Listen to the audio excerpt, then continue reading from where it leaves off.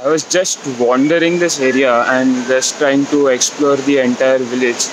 And this village is really beautiful. It's more than what I expected. Just hearing the sounds of the birds and a beautiful waterfall behind me.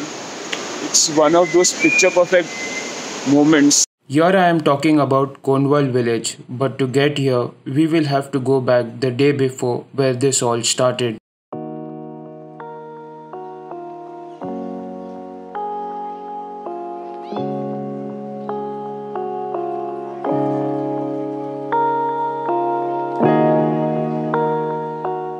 Around uh, 10:40, and uh, we have just started our trek and heading towards Ahupe.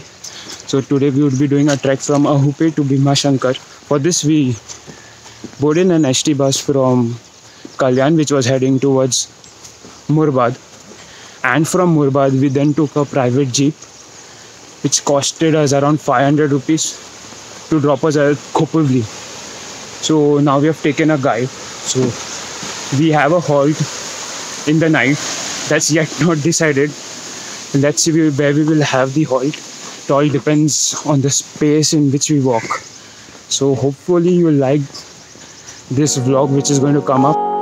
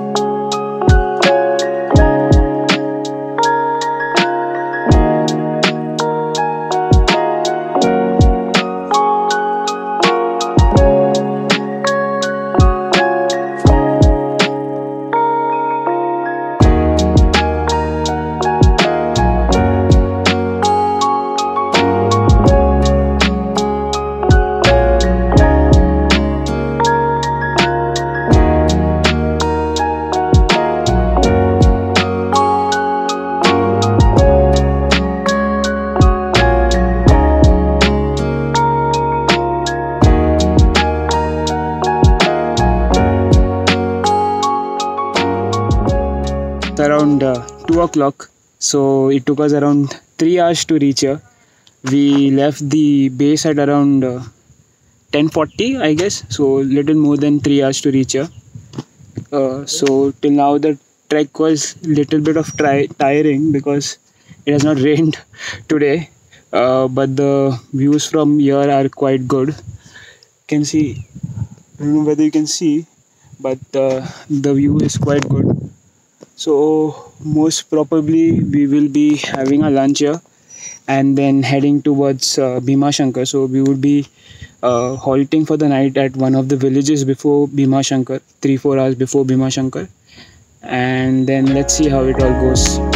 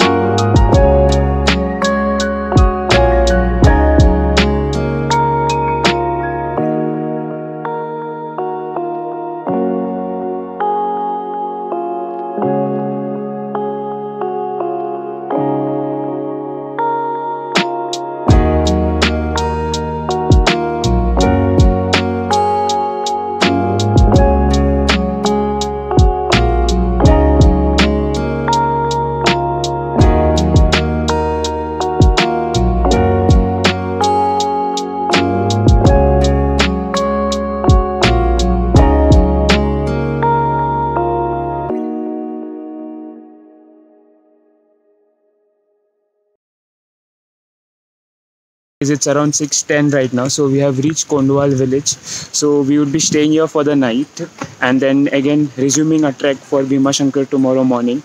So it's a beautiful little village uh, that comes between ahupe and uh, bhima shankar. So it's just before bhima shankar. It's surrounded by uh, mountains all over and it's quite a beautiful place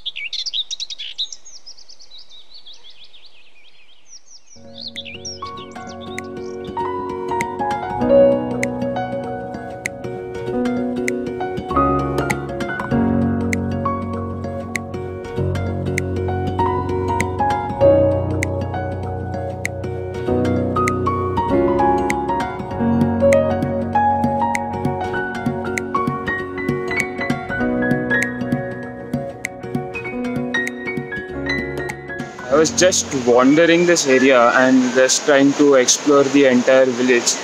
And this village is really beautiful. It's more than what I expected. Uh, I'm like sitting here alone, uh, just hearing the sounds of the birds and a beautiful waterfall behind me. It's one of those picture perfect moments uh, so this this village is damn beautiful actually. One should stay here overnight, I say.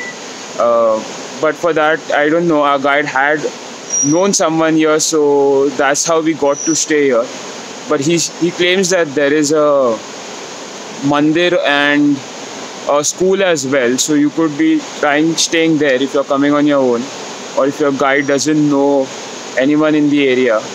So yeah, you should visit this place. It's called Kondwal village and it's just before Bhima Shankar on the way to Bhima Shankar in fact. And quite a great place as compared to Bhima Shankar where you'll get lots of crowd. Here you'll not find anyone on this uh, route.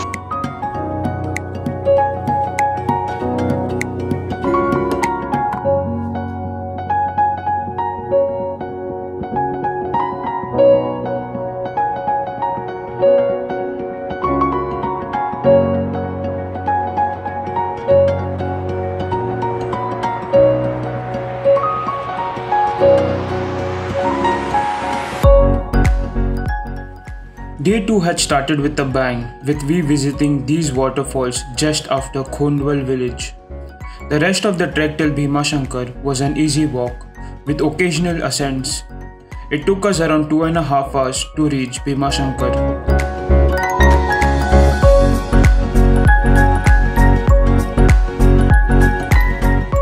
It's around uh, 12 o'clock right now, so we had our snacks over here, visited the mandir, and now we are going to start our descent from here. So it should take us roughly around three hours to reach uh, the base village. So we are descending via Ganesh Ghat, so it's a much longer route as compared to Shidi Ghat. So yeah, the weather is good here, but then there's too much of crowd at Bhima Shankar. So yeah, let's see.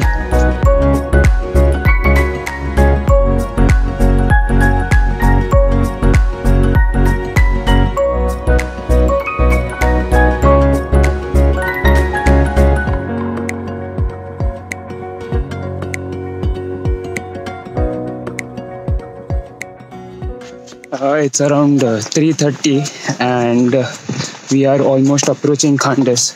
So overall it was a very good trek and good endurance level is required.